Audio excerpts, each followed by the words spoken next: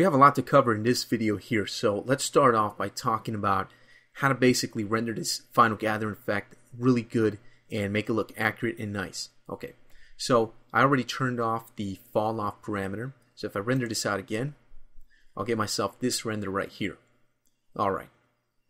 Okay, so what we want to do is we want to render out final gather with a lot of accuracy. Accuracy meaning that these little uh, little detailed areas where objects meet up with each other, where just little shadows and things like that, all these lines that represent the geometry in our scene have to be visible. That's how we make the lighting accurate. And we also have to make sure we don't get any splotching. And we also have to make sure that this thing just looks good in general with Final Gathering. So how can we do that? Right now, this does not look good. We don't have any details. Our shadowing is pretty much uh, ruined right now. And we don't really have much splotching, if at all. But again, we don't have any accuracy. So to be able to control all of this, the main parameters that we need is the point density, which I'll leave at a default of 1, which is fine. The rays per final gather point is very important. And also the interpolation method is important. Now there's two ways to interpolate the final gather points in Mental Ray. The first method is by using this interpolate over number final gather points, which is set to 30 by default. This just takes the final gather points and interpolates them together based on the setting you use here. A lower setting gives you more accurate lighting, but more splotching, so it's going to require more final gather rays to make uh, to render out good. The bigger number we use here, the more accuracy we're going to lose, but the less final gather rays we'll need to get rid of splotching. So it's a trade-off. But there is a second way to interpolate the final gather points, and that's down here in this option. This is the use radius interpolation method. That's the advanced version. Uh, in the past, this used to be the only way to interpolate and control the quality of final gather, so it was very difficult to use, especially for beginners to Mental Ray, and it would basically turn a lot of people off uh, from Mental Ray, and they would go off and use other renderers that were a little more user friendly. Now, a few versions back, they introduced the interpolate over number final gather points feature, which is a little bit better, more automatic, and easier to tune. There's just one number you have to deal with, and that's it. I prefer to use the manual mode here, basically because that's the mode that I learned how to use and I've used over the years and I continue to use. So I'm going to teach you how to use this mode just so you can take advantage of it. That way you know how to use the automatic mode and you know how to use the manual mode here. So let's use the manual mode. To activate it, simply turn it on. Now by default, you have radii in pixels. If we turn it off, the radii will be calculated in world units. So you notice over here, it says one centimeter. If I turn on radii in pixels, it'll just say five. That's because it's five pixels. If I turn it off, it's set to one centimeter. I prefer to use the world units here. I don't like to use radii in pixels. So I'll just use the world units here. And then we have two parameters. We have a radius and a minimum radius. You notice the minimum radius is grayed out. The top radius here is the max radius. If we activate that, the minimum radius will become active and we can turn it on or off. Okay. If we have the radius turned off, but we do have this interpolation method turned on here, what will happen is that Mental Ray will look at our scene and it'll automatically decide the correct radius to use. So even though it says one centimeter here, it's actually using a different setting that you don't see in the interface. It's actually calculating that on its own. So let's go ahead and render this out, see what it looks like. So this is what we get. Okay, it's no longer using the interpolate over number of final gather points up here. If you notice, this setting is now grayed out. The 30 up here is grayed out. That's because you can't use both methods at the same time. You can either use this automatic mode up here or you can use the manual mode down here, but you cannot use both at the same time. Now, right now Mental Ray is controlling the radius that it's using to, to control the quality of this on its own. It's basically guessing.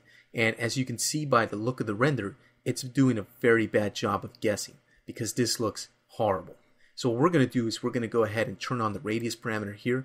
That way we can tell Mental Ray, you know what? Go take go take a break. I'm going to take over from now on. Give me the controls. I'm going to go ahead and tune this myself. Okay.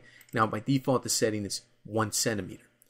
The general rule of thumb here is to make sure that this maximum radius up here, this radius parameter, is set to 10% of the total size of your scene. But that isn't a rule that's written in concrete. You can actually choose whatever radius you want. So you don't have to go by 10% of the size of your scene. You could, it's a good starting point but you can actually go with 10% of what you're going to render out. So my scene is a lot bigger than what you see here in the render frame window. So what I can do, if I wasn't going to render out the entire scene, if I was just going to render out this area here, I can use 10% of the area that is being viewed in my camera right now. Okay? But I'm not going to do that. Instead, what I'm going to do is I'm going to zoom out here. Actually, what I'll do is I'll hit T on the keyboard to go to the top view. I'll hit F3 to go to wireframe view. And you can see that my scene has a very, very large circumference here. It's a very big scene. So let me zoom out here. Wow, that's a, that's a huge scene. What I'm going to do is I'm going to measure out the size of this little miniature city here. And that's very easy to do in 3D Max, 3ds Max. I'll just go to Tools. I'll go down here to Measure Distance. And then I can just click on one end over here and one end over here. Now, that isn't exactly the circumference of the scene, but it doesn't really matter. It doesn't have to be exact. You can just go ahead and get the length of the scene, the width of the scene. You can get, uh, you can measure from uh, top down this diagonal to this diagonal end over here, whatever you want. As long as you get a pretty good size of the scene or whatever it is that you're interested in rendering out. Okay. Now, if we hit F11 on the keyboard, we'll open up the MaxScript listener and right here is will tell you the distance that you just measured out and the distance for me is going to be about 134.314 centimeters so I'll just say it's 134 centimeters so what I'll do is I'll take 10% of 134 and I'll plug it here into the radius so 10% of 134 is about 13 it's actually 13.4 but I'll just go with 13 okay and now let's go back to a perspective view. Let's go back to our camera view here. I'll hit F3 to go back to shaded mode. And actually what I want to do is go back to hidden line mode. There we go. Zoom in here. This is pretty good. We'll render this out again. Now we're using a radius of 13. So the tighter radius should give us a more accurate uh, solution, which it actually it's not really doing a good job right now. So what I'm going to do is use a minimum radius. The minimum radius should be 10% of the maximum radius. So if the maximum radius is 13, the minimum radius will be 1.3. Okay, and let's render out again.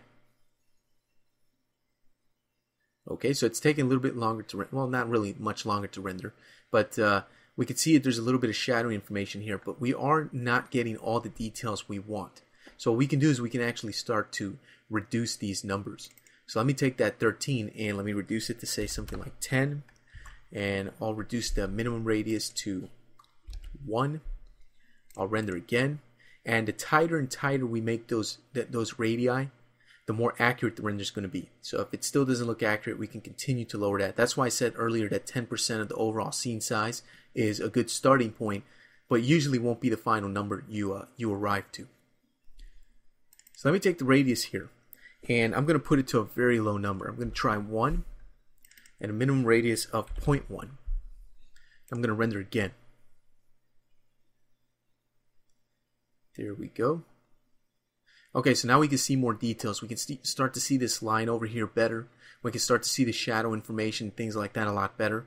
And in order to make this look better, we would need to use more of Final Gather rays. So let's use something like 200. Render out again. And you can see how we start to see our shadowing information looks a lot better. We don't have any splotching and we do have details uh, with the geometry here with Final Gathering. So it actually looks pretty good. So the idea is to manually come in here and start off at a pretty small number, about 10% of your scene size, and then just start to manually tweak these numbers until you get something that has good accuracy, and then to, to fight back against some of the splotching that'll occur Start to increase the rays little by little until you get yourself a result that has a good balance of smoothness as well as accuracy. Once you reach that point, you've got yourself a pretty good final gather solution. Okay, so each scene is different. You have to experiment and do some test renders to find out the right settings for your scene, and then uh, then you'll be good to go. Okay, so I'm going to turn off the manual mode. I'm just going to use the automatic mode for now, and I'm going to switch this back probably to 100. Okay, Alright, so this video has been running for a pretty good amount of time. Now, let's collapse the Final Gather rollout here. There's another rollout here to reuse uh, Final Gather and, and GI disk caching rollout. Now, we used this rollout when we were working with global illumination and photon maps. We were using this bottom section here. Now, the top section deals exclusively with Final Gathering, so we need to cover that next. So we'll do that in the next video.